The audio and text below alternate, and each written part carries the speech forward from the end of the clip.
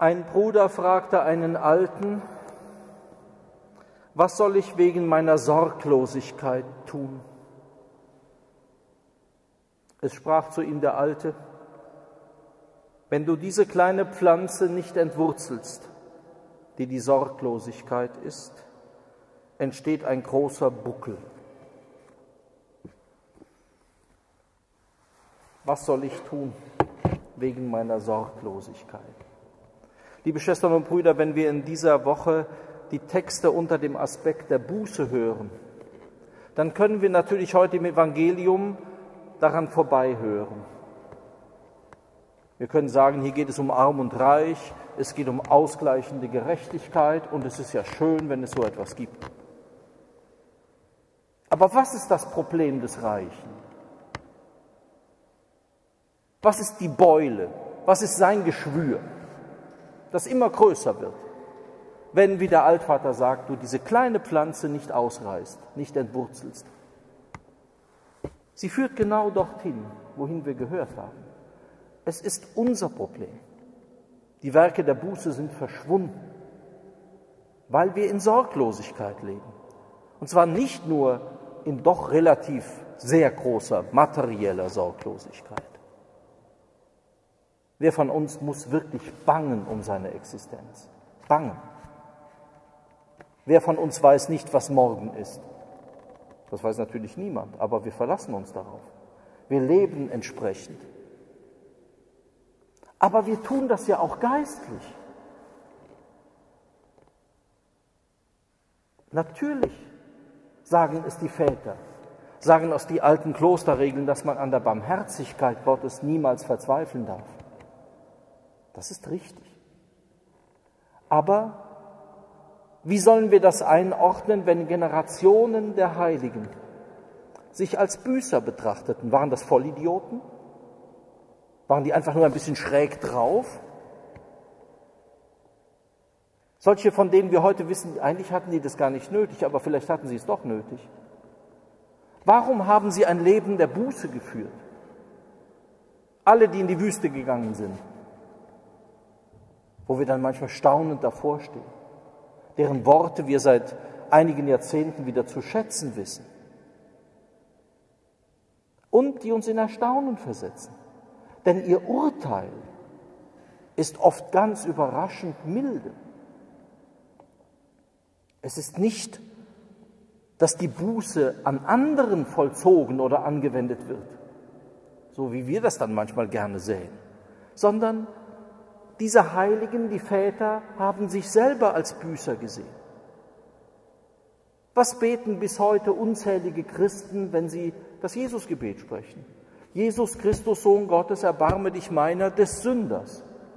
Ist das nur ein wohlfeiler, frommer Spruch?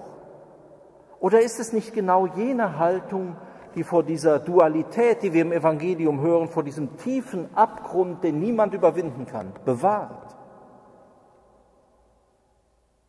Wir schneiden uns selber die Wurzeln ab, die wahren Wurzeln, wie wir das in der Lesung bei Jeremia hören. Durch unser abgründiges und so listiges Herz. Ich kann mich in meiner Ausbildung an viele Sätze erinnern, die sozusagen solche Entlastungsstrategien gebildet haben. Und je älter ich werde, desto saurer stoßen sie mir auf. All das, das was, dass wir heute andere Menschen sind und dass wir diesen ganzen Bußkram, dass das heute niemand mehr was sagt und dass wir das alles nicht brauchen. Ich wüsste einen englischen Ausdruck dafür, den ich aber jetzt lieber nicht sage. Es sind Fallen. Und es sind letztlich, die Väter hätten das sofort gesagt, es sind Stimmen der Dämonen, die so sprechen. Sich selber als Büßer zu begreifen und auch ein Leben der Buße zu führen, wie das die großen Gestalten getan haben. Wir könnten sie alle aufzählen, von Antonius angefangen, durch Jahrhunderte hindurch. Bis in die Gegenwart gibt es sie.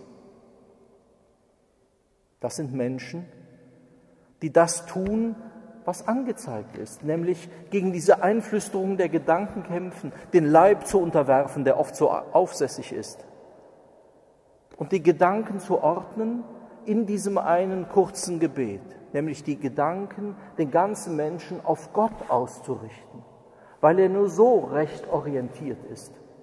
Und dazu bedarf es der Buße. Es bedarf der Übung, zuweilen der harten Übung. Und dann kommt jene Milde zum Vorschein, von der das Evangelium ausspricht. Aber genau so herum, nicht andersherum.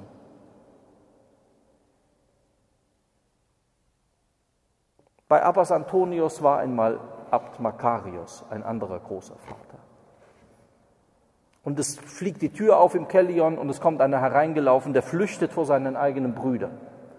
Sie verfolgen ihn. Sie wollen ihn aus dem, aus dem Kloster ausstoßen, aus ihrer Siedlung, denn er hat Unzucht begangen.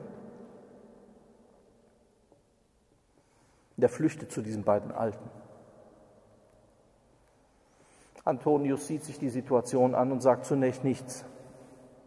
Und als die anderen dann nachkommen und schon fast gewalttätig werden, spricht ab Makarios und sagt, hört her, einer ist in den Schlamm geraten bis zur Hüfte.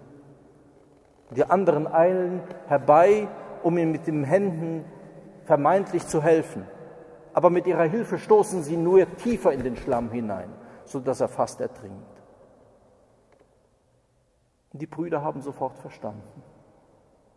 Sie warfen sich ihrem Bruder, der sich verfehlt hatte, zu Füßen und nahmen ihn in Freuden wieder in ihrer Mitte auf. Das, liebe Schwestern und Brüder, ist Umsetzung des Evangeliums.